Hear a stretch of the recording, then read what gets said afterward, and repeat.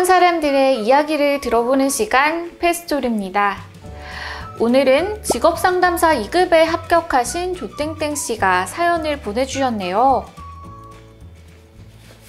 직업상담사 2급 자격증 취득을 결심했지만 막상 공부하려니 과목들이 너무 생소해서 어떻게 시작해야 할지 막막하기만 했습니다.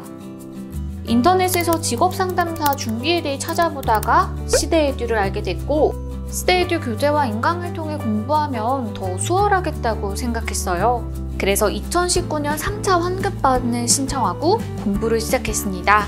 최근 직업상담사 2급 한 건으로 끝내기로 공부하며 이론 강의부터 들었습니다.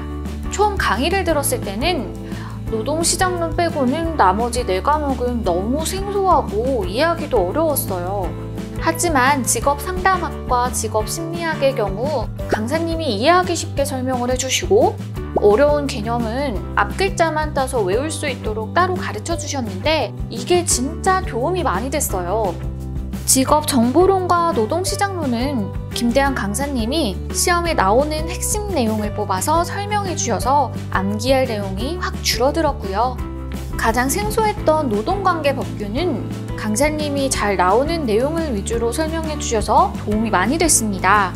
다른 과목도 마찬가지지만 기출문제 반복 학습을 통해서 가장 효과를 볼 수 있는 과목이 아닐까 해요. 이론 강의를 다 듣고 나서는 최근 3년치 기출문제를 뽑아서 풀고 기출특강과 함께 공부했습니다. 그렇게 1차 시험을 치르고 합격했습니다.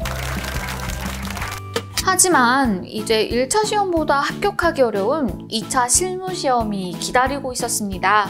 2차 실무는 객관식이 아닌 주관식과 서술형이기 때문에 아무래도 공부하는데 더 부담이 컸어요. 그래서 1차 시험을 준비했을 때보다 시간을 더 투자했고 강의를 들으면서 중요한 개념은 따로 서브노트에 쓰면서 공부했습니다. 2차 시험은 내용을 자주 보는 것도 중요하지만 반복해서 써보는 것이 더 중요하다고 생각했어요.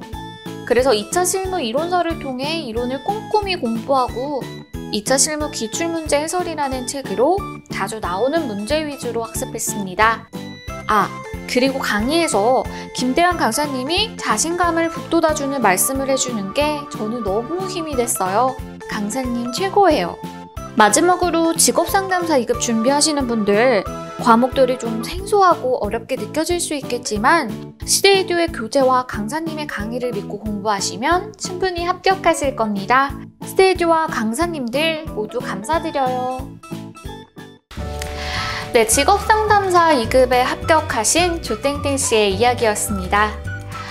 조땡땡 씨는 시대에듀 직업상담사 2급 2019년 3회 환급반 과정을 수강했고 다음 교재들로 공부했습니다. 어렵고 생소한 자격 시험도 시험에 나오는 내용들을 딱 짚어주고 외우기 쉽게 알려주는 시대에듀 강사님들과 함께하면 합격이 쉬워질 거예요. 여러분들도 시대에듀 강의 듣고 꼭 합격하시길 바랄게요.